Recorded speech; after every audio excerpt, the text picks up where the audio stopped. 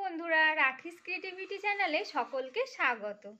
আজ তোমাদের সঙ্গে শেয়ার করব একটা বার্ড হাউস যার জন্য আমি একটা এইভাবে গোলাকৃতি ধরনের পিচবোর্ড নিয়েছি, যেটা আমাদের ফ্যান এনেছিল, তার সাথে ছিল এবং তার উপরে আর একটা এরম খাঁচ কাঁটা ফিজবোর্ড লাগিয়ে নিয়েছি এবং উপরে চালটাও একটু ভি করে তৈরি করে নিয়েছি এবং তার উপরে আমি এইভাবে ওয়ালপুটটি ও জল মিশিয়ে সেভ করে নিয়ে গাছের আকৃতি ও পাথর করেছি।